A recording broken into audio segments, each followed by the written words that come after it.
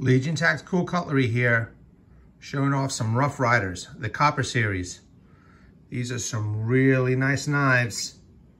Excellent users. Reviews to follow. Take care.